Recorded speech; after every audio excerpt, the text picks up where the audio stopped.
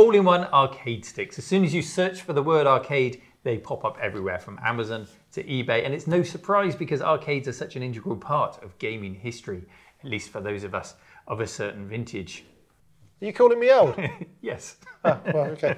Fair dues. I'll cop to that. Yeah. Um, whether it be your arcades on you know the seaside in Britain or your bigger arcades in the USA, um, we all have some relationship with the with the arcade machine, and I know it's something that you perhaps not covered as much so far on the channel. No, we cover a lot of micros, a lot of consoles. Um, not so much the arcades. I'm hoping to get some arcades here in the cave, as, you, as some of you know, as soon as I can. But until we have space for the arcade, and I know many of you at home, you just don't have space for a full size or even a bar top arcade. There are alternatives, and this promises to be such a thing, doesn't it? It definitely promises to be things. Um, Tell so, us about some of those promises because they're on the box there, Mark, aren't they? Well, this is the Iriluru, and I don't know if I'm saying that right, the Iriluru 3399 all-in-one arcade. Um, I've got absolutely no idea what's inside the box or inside whatever is in the box, but it does tell us it's a high definition home game machine. Um, and there's some really good stuff on the back. So, for example, it's global recognized. it's uh, it's uh, super high video resolution. It is. Uh, it's got green low power design and hundreds of classic games. Absolutely hundreds of them. Hundreds of them, hundreds. all in the Moonlight treasure box. It's got hundreds.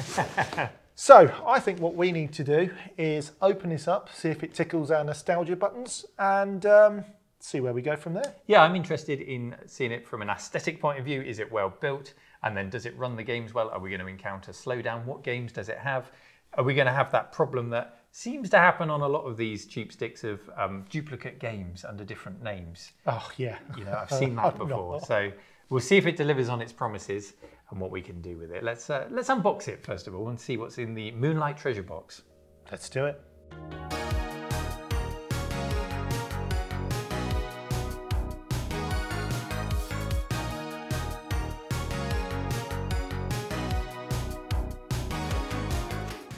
So we've got, I can see a couple of knobs. I can see a knob poking through there. Bag off the knob. Um, so HDMI cable. USB A to A cable. Old school VGA cable. Oh wow, that's pretty good that's included. Um, and a power supply that is absolutely 100% definitely CE rated. and we've got a manual here for, it's got another name. This is now a multi-game family box. Uh, and it seems to think it's a couple of joypads in here. In fact, when I was looking for listings for this thing on Amazon, I came across this listing in which one of the pictures is not quite right. They seem to think that this giant two-player arcade control panel is a couple of handheld joypads. A couple of handheld joypads. And we've got that image right here on the screen right now. And also on the back of this manual, uh, this may look familiar to some people. This is a, an alternative stick that's available. They must all have the same innards and come with the same manual. Yeah. But this stick will look incredibly familiar to those who followed the Capcom arcade stick a year or two back. It came out. You can see this is the exact Such same mold. it must have come out the exact factory, and all they've done is remove the word Capcom. Well, that might bode well for this unit because it might actually be the same internals as a Capcom stick. Oh, I don't know about that. I don't know. We'll find out. But mm. that stick was about two hundred pounds. Two hundred pounds. Yeah. How much did you pay for this one, Mark? Well, they range on eBay and Amazon from around £140 to £200, but that's kind of like, you know, the price you never pay because they're always on sale. Yeah. Um, this one cost me the princely sum of £40 plus £1.99 delivery. That's not bad. I mean, even if you strip it for parts, that might still be quids in for you, but it depends what's in there. Let's carry on unboxing it. We've got um, kettle lead, European, um, and English, yep. unladen. yes, indeed. We've got a button. We've got two buttons. Okay. I hope they've not fallen off. Maybe they're spares. Okay. Spare buttons. Can we see what kind they are? There's no markings on these. They're um, yeah. Well, they're definitely Samurai clones, put it that way. Samurai clones. They're exactly like Samurai clones. Are you ready for the big reveal? Reveal those knobs. well, that's interesting. Well, yeah, we've got some artwork on there. We've got uh, Ryu. Is that Ryu? My knob's been bagged. Yeah, my knob was bagged. Oh, okay, you pulled it off. I removed removed mine. I pulled it right off. Okay, first impressions then. I, I guess let's lift it out so we can get proper first Yeah, okay. impressions. It's certainly a colourful You lift, thing. I'll hold the box. Shall I move the settle? Yeah, yeah, yeah.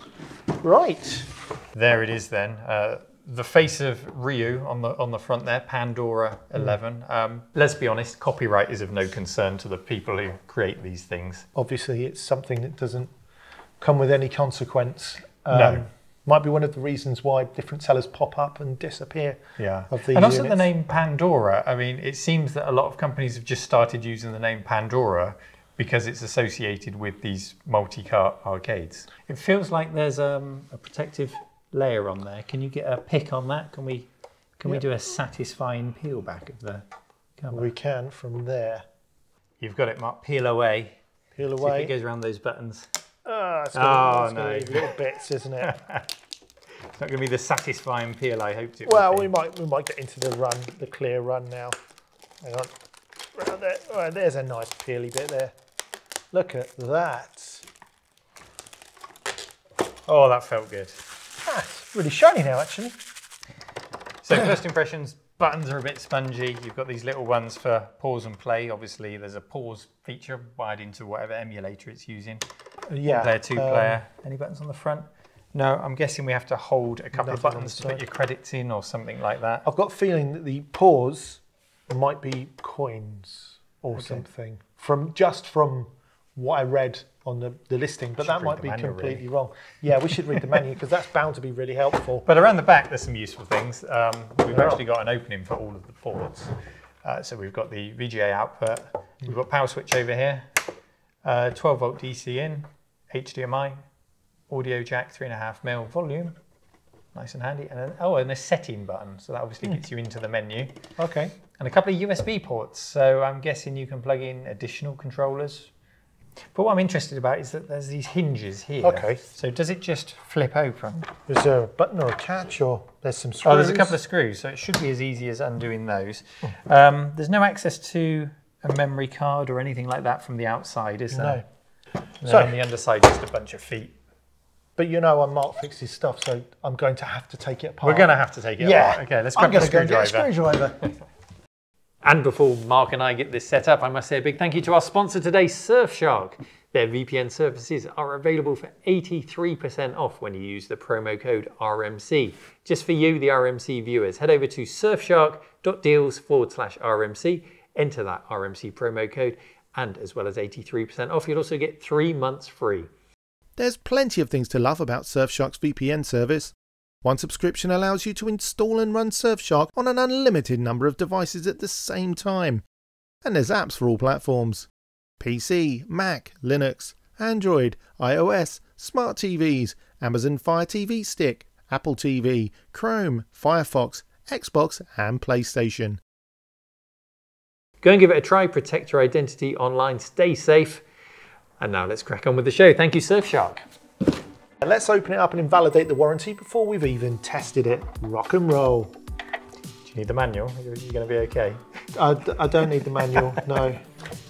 It looks like it's made of a very thin pressed steel on the base there. Actually. I'd guess steel, yeah. bad. I would guess steel. It's metal. It's quite robust, I think, actually, considering. These must be made so cheaply. Right, well, that's the two screws out, and all things being equal, it should just lever up on these hinges that you pointed out earlier. Oh, the, the smooth action on that, Mark. Wow. Oh, there's an LED strip in there. there's a wiring loom which goes onto GPIO on whatever this board is. That looks pretty good. And look, it's quite tidy in here, and there's a cable snake. And look at that.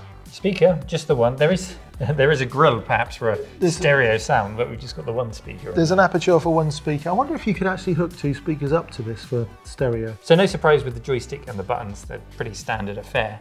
I'm really interested to know what's powering this thing. There's a single board computer there with all the ports coming out the back. No idea what that is at first glance. I can see an SD card in there though. Oh, yeah. Should we pull that out, see if we can figure out what it is? Yeah, because I haven't got a clue just Okay. looking at it. And we might need to remove that heatsink as well.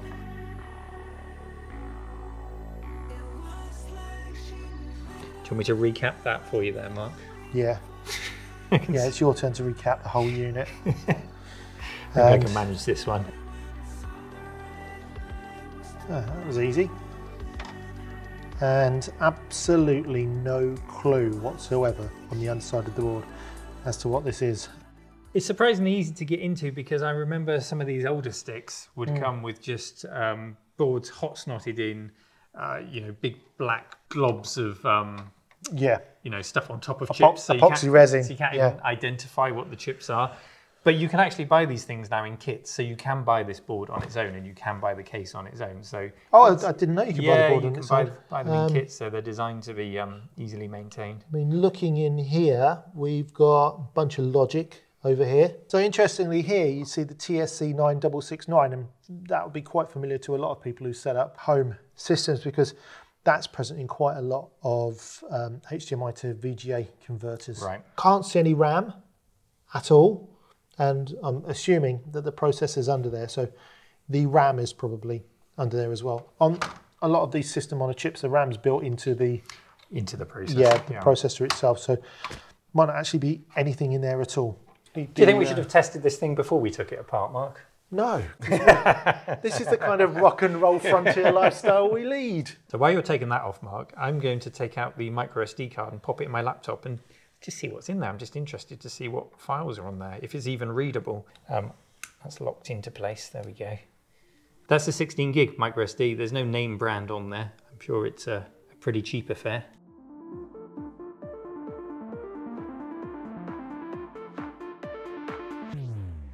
So you've got the fan off there. Mark, what have you found? Well, we've found an Allwinner H2 Plus uh, processor, and um, I think it's a quad core running about 1.3 gigahertz. We've got a little RAM chip there. I think that's two gigabytes. Two gig of RAM. You know, I'm pretty sure when we read the specs on the website that this promised an H3 CPU.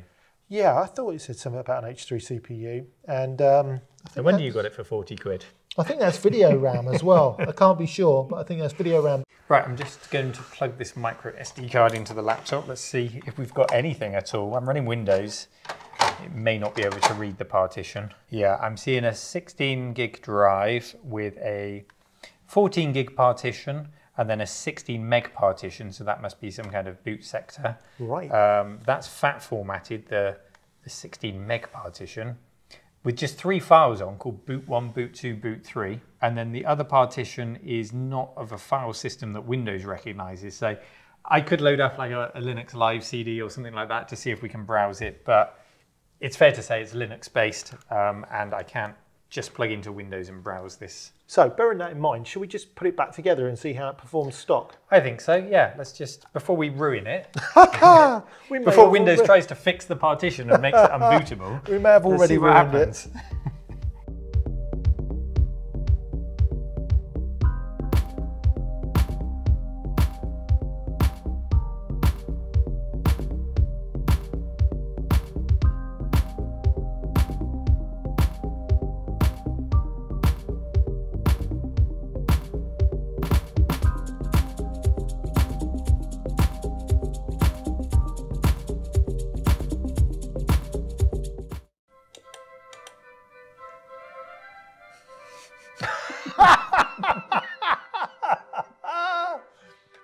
totally appropriate music.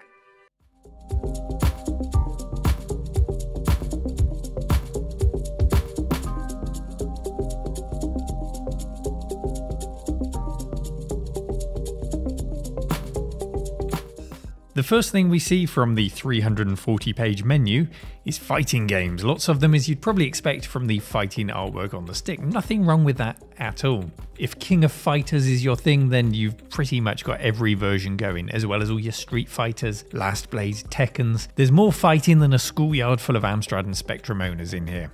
We started off with one of those King of Fighters games and it licks along at a nice playable pace. No problems handling Neo Geo emulation at all. And that carries through to all the Neo Geo games. I think any slowdown we really experienced was true to the original hardware, so we can't really hold that against it.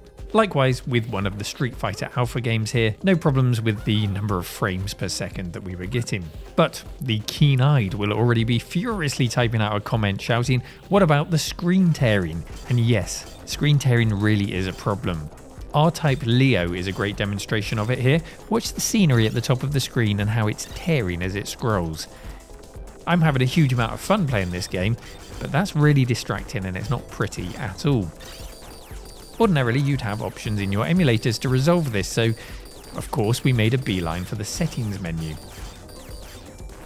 The only option related to it that we could find in the menu is quality optimization, which can be on or off. There don't seem to be any other graphics related options, so all we could do was turn it on and see if it made a difference.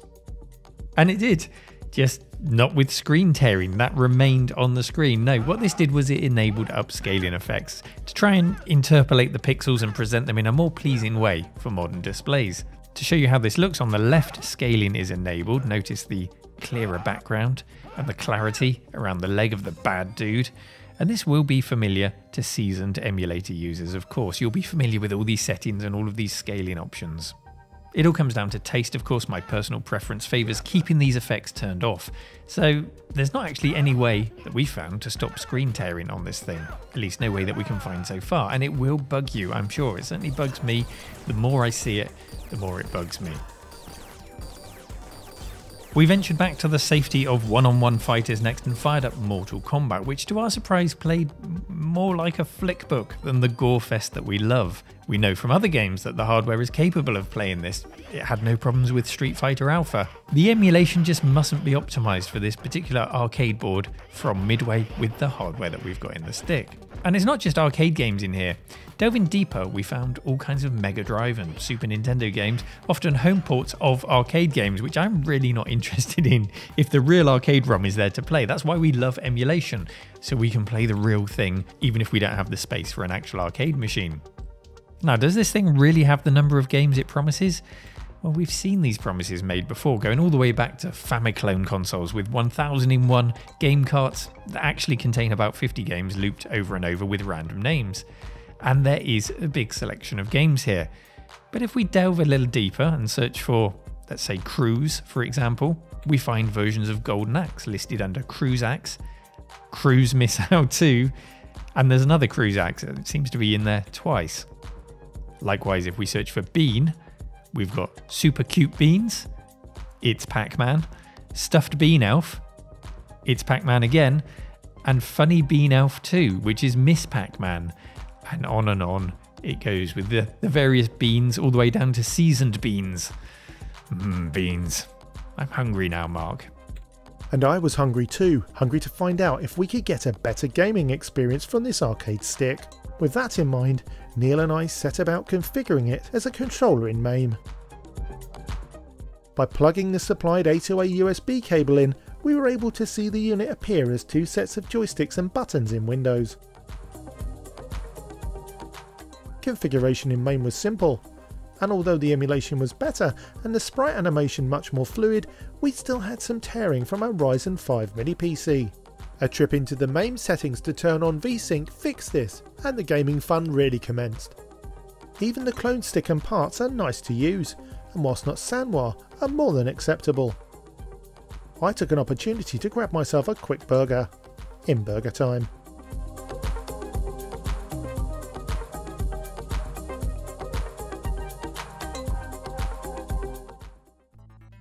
Here we can see a side-by-side -side comparison of the main PC we use here on the left and the arcade stick output on the right.